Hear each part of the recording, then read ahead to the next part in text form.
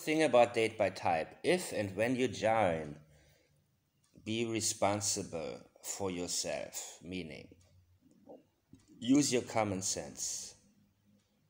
If somebody, anything happens, you report that person. If anybody harasses you, whatever. What I don't want, and make clear right now, that if somebody is having an experience that's not optimal, you need to be a part of the solution. It means that you either A, delete your account, which you can do at any time. And I have had, I, I realize, okay, one of the things that I realized and learned in the past few months was that for whatever reason, I am a magnet for a lot of babies. Meaning, people who all of a sudden bombard me with messages, emails, etc., because for some reason they feel I have to be responsible for them.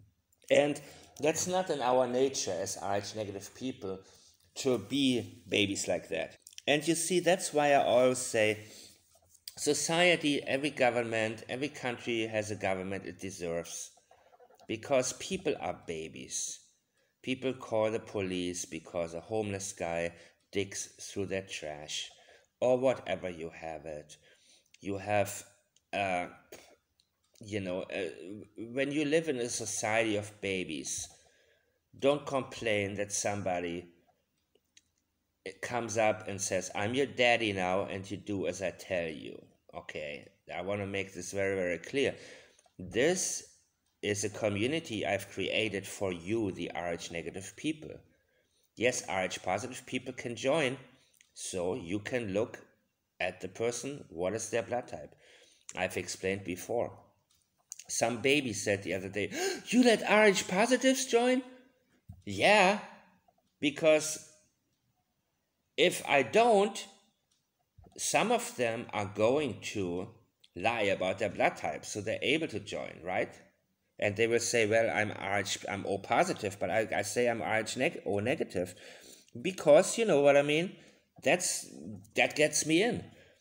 So do not message me or ask me, please delete my account for me. I don't know how to do that. Make sure you really want to join. Otherwise, you know,